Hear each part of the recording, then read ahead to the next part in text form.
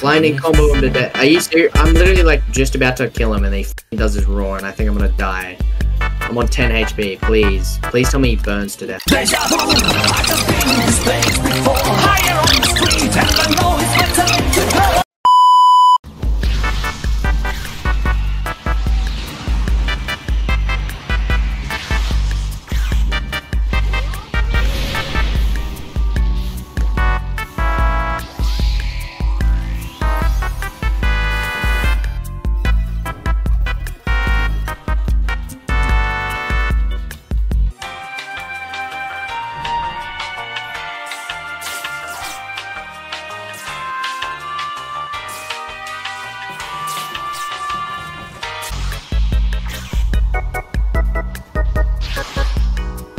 No, don't do it!